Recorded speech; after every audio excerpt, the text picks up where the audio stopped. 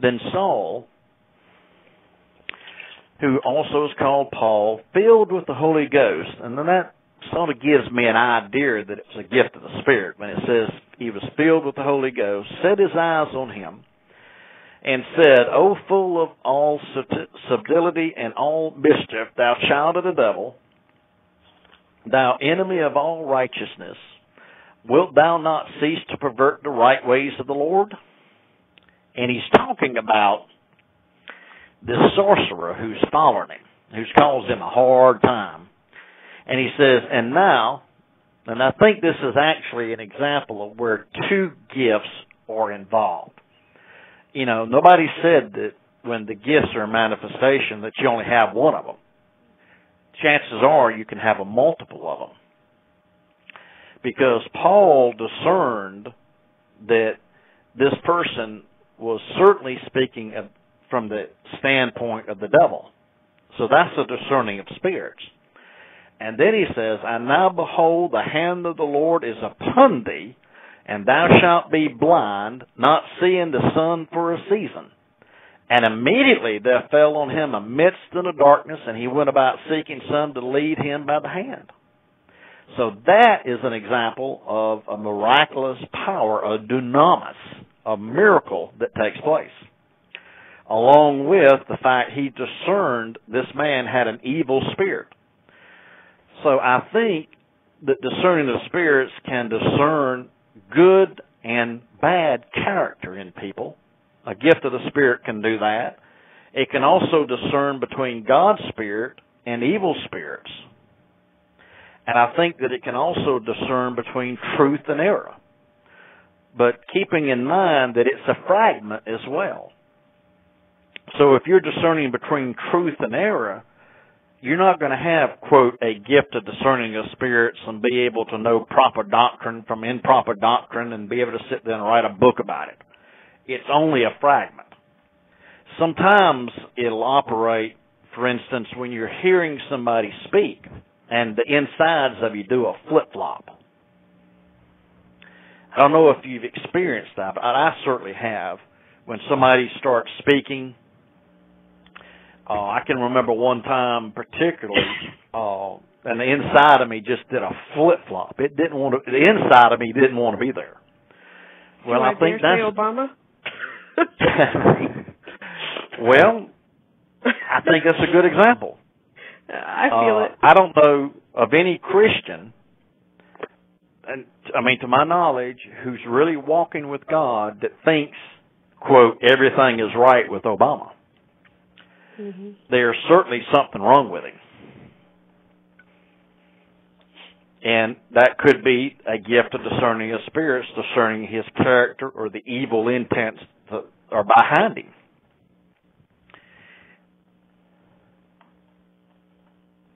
Now, we can talk about some of those that are even the more controversial. Tongues, glossolalia, and the interpretation of tongues. What is that? Well, tongues is a supernatural ability to speak in an unknown language without learning it beforehand. And it can be a language of men or of angels.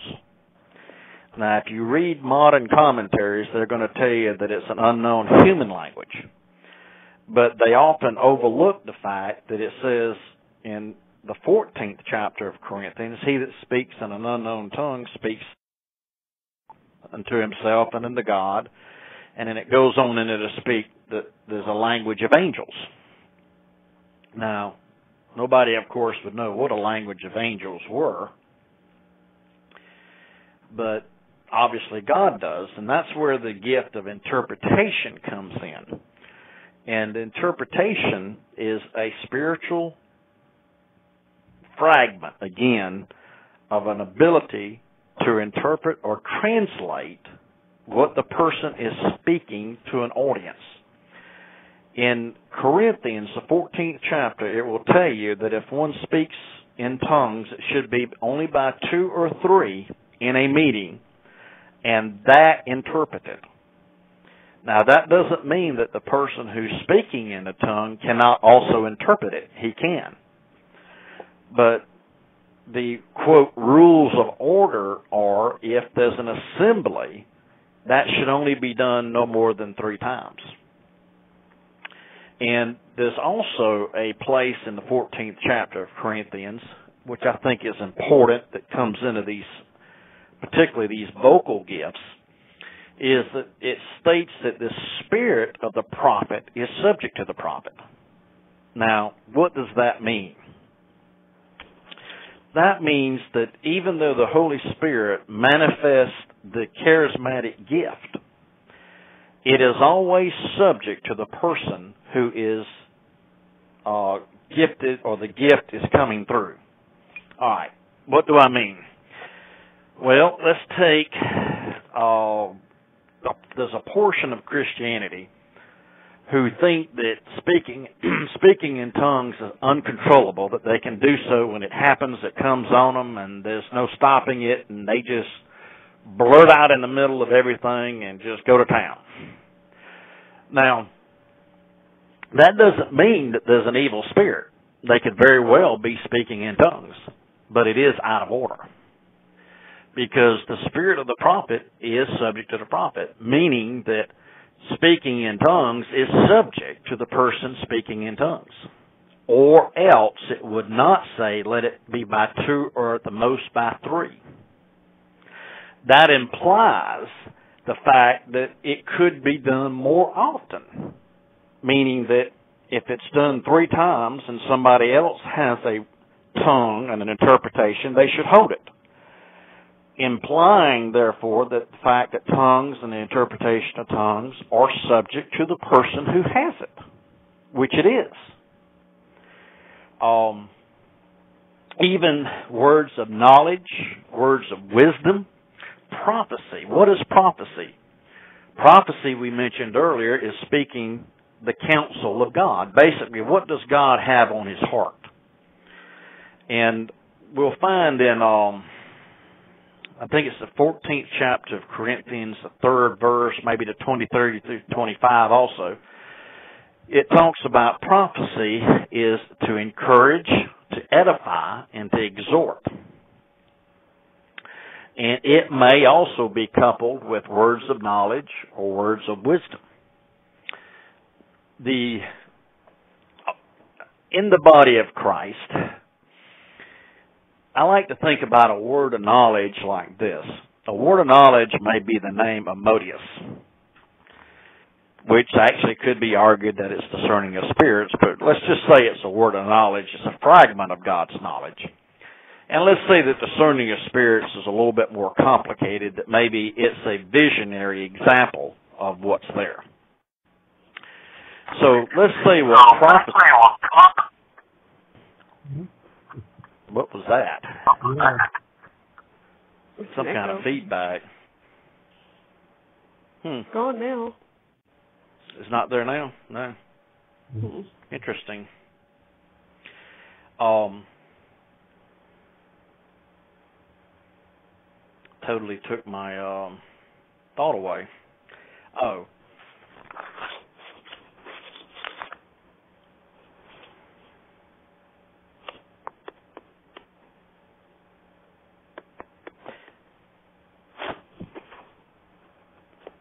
talking about um, prophecy can, could combine words of knowledge, words of wisdom, and is subject, of course, to the person who's who's operating in it. Now, it also brings up the the question about what tongues or glossolalia is in in effect. Well, I can give you only a personal example. There three examples in the book of Acts where people were filled with the Holy Spirit, and it says that they prophesied and spoke in tongues. And I can remember I was sitting in a restaurant one night, and I finished eating and went outside, and this little fellow comes running after me, and he says, "Do you know the Lord?" And I said, "Well, certainly." And he looked like he was dumbfounded, like, well, how come God sent me running out here in my bare feet to talk to you? and so we got to talking, and it was sort of like this example in the book of Acts, where the apostles run into these Christians and uh, they ask them if they have been baptized in the Holy Ghost. And they said, no, we don't. I'm paraphrasing this, by the way, but they said, no, we don't. We've not even heard of any such. We've only been baptized in the baptism of John. And so he goes, goes, the, the story goes forth and they speak in tongues and prophesy. And there are three instances of that in the book of Acts, and one incident where it mentions they're filled the, with the Spirit, but it doesn't say that they either spoke in tongues or prophesied. It just sort of leaves it to your imagination because it says that people saw that they were filled with the Holy Spirit. Um. Anyway, to go on with my story, this boy started talking to me about the baptism the Holy Spirit and et cetera, et cetera. So anyway, we ended up sitting in my truck in my truck in the front and uh he prayed for me and the verse I can remember he talked about is over in um the gospels and it says if we ask the father for the holy spirit that he only gives us good gifts and i can't tell you where that's at at the moment i could look it up but anyway we prayed that and i said holy spirit fill me up i knew he was already in me i just didn't think i had all of him which obviously probably it didn't but I heard it sort of came from deep inside. This word just sort of bubbled up and splashed on the bottom of my brain. Now, I've seen a lot of people in my time, and I've prayed for a lot of people to receive the filling of the Holy Spirit, and I've seen it happen and take place in different different ways. I've seen some people go to speaking in tongues like some lawnmower, you know, cranked up went off, but uh, in my particular case, I only got one word, and this word was into the cedar. I mean, I can remember it 30 years, 30 years later, because that's the only word I had for so long. I wore it out, and then I got one more.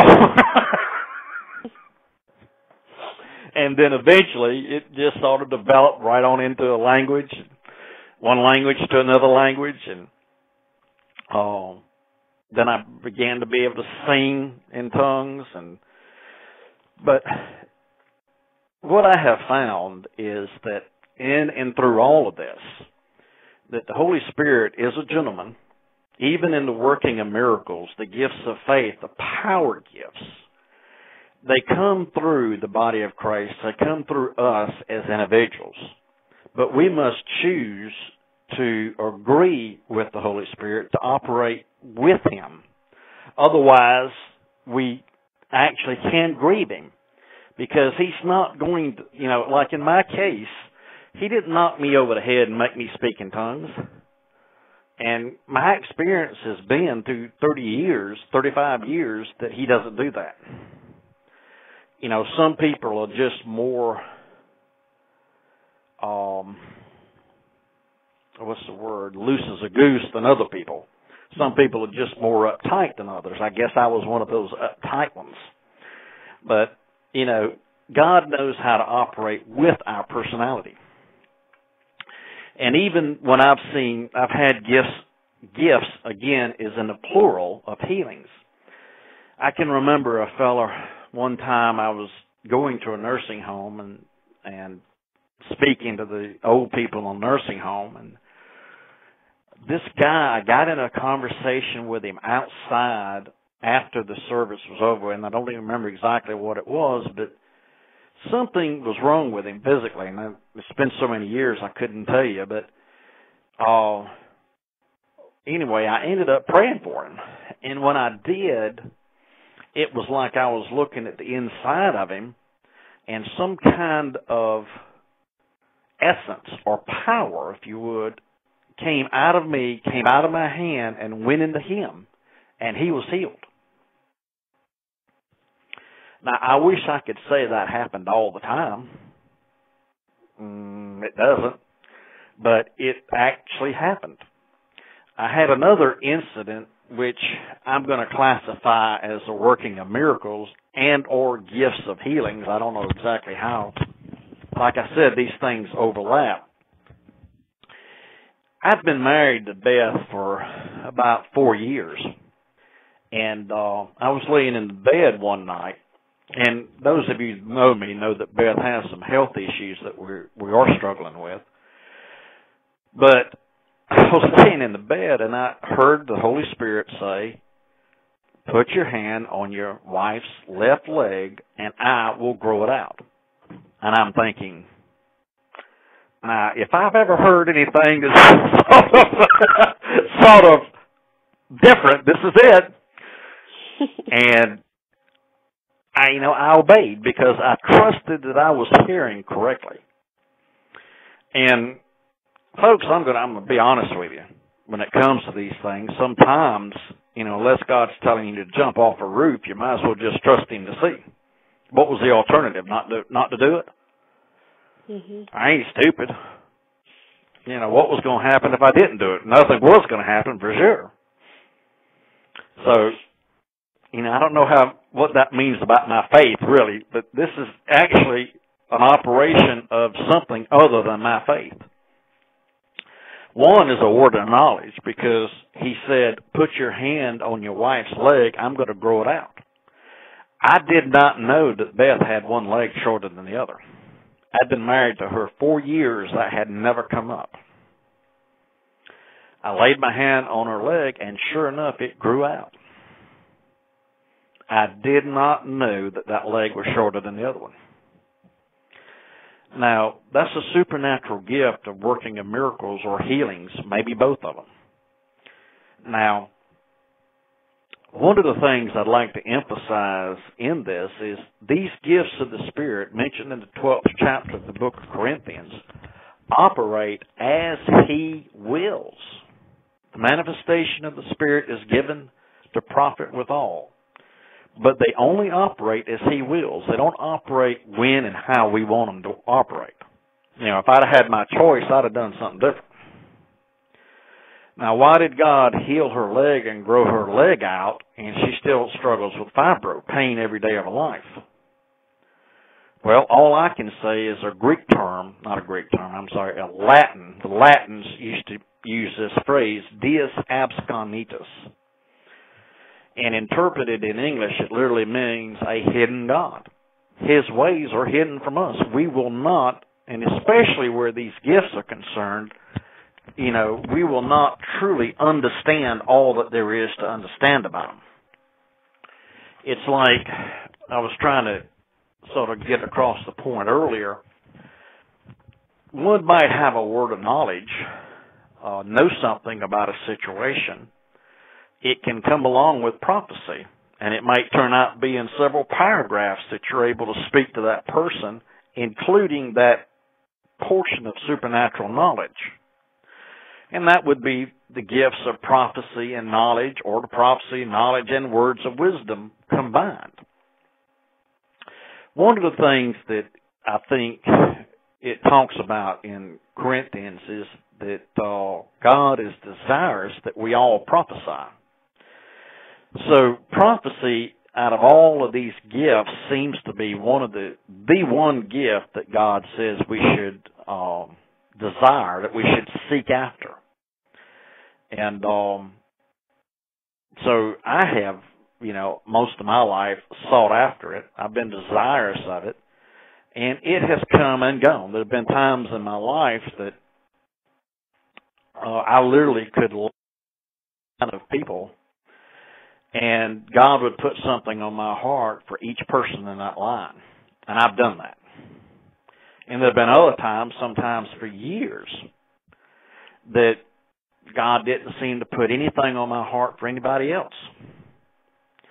And so I might also mention this as a thought too.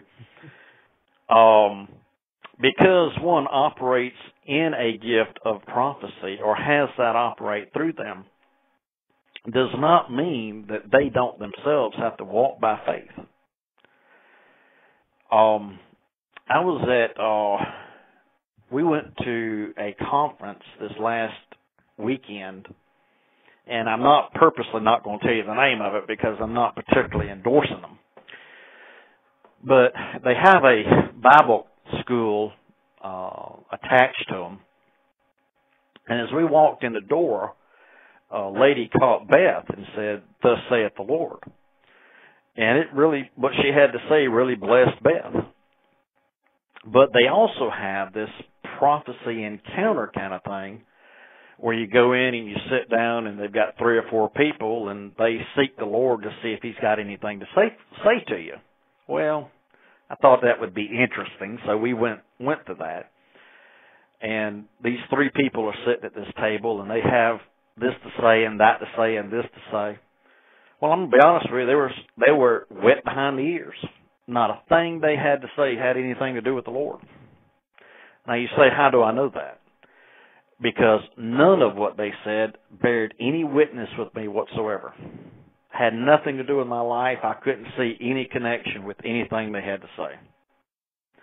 So where did that come from? They made it up. so, you know, even in the best of times, a person, you know, can um let's use the word miss it. It's like when we're in our doing our online group calls for deliverance. You know, a name like Modius, I mean, you just can't hardly make that up. But let's say that I'm thinking about lust and I call lust out. Well, did I hear that from the Holy Spirit or did I make it up? Well, in that kind of an encounter, it doesn't really hurt anything if I'm wrong it's much better that I reach out there and try to be sensitive to what God's saying uh, than it is that I hold back. And you know, I'll give these people in this conference, you know, the the kudos for attempting and trying. But I think they're sort of missing the boat in the fact that these gifts of the Spirit operate as the Spirit wills. And on all of my years, almost 35 years or more now of Christianity, I can count on one hand the personal prophecies I have had. I have had. And I think that's unusual because some of the people I know that run in the circles that I do have a lot of them. But God just doesn't seem to do that toward me for some reason. And even though a lot of times in my life I've had God put things on my heart to speak for other people, I've never found that, you know, it lessened the call that I had to walk by faith. Often when I speak on what God puts on my heart, what I look for in prophecy, words of knowledge or words of wisdom, is that it confirms what's going on in that person's life, that it encourages them, they have a witness to it. And if they don't, then I sort of reconsider maybe I'm missing it. But, you know, I wouldn't give really hard time if I didn't get it 100% right. Which brings me to the uh, question of visions there are several types of visions. There are open visions where your eyes are wide open. That happened in the book of Acts to Peter. And there are visions where your eyes are closed and you have a vision, you see something. Now, visions can carry words of knowledge or words of wisdom.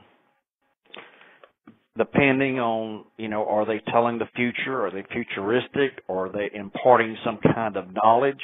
of a circumstance or a thing. Uh, and the vision might even be a discerning of spirits. You could see a devil or a demonic being in a vision with your eyes open or your eyes closed. That would be a discerning of spirits. If you had a vision that entailed something that you couldn't know yourself about a person, that would be a word of knowledge. Um, I had a one of the prophecies and words of knowledge mix that stands out of my mind that I think because of the the fruit of it in my own life that comes to mind is I was in a in a church one night and it was some kind of a fellowship group or something and oh please don't ask me to do this because the Lord's not doing this right now thank goodness but at this particular time if I gave a prophecy, I had to sing it in tongues and then interpret it. And you know that takes a lot of faith.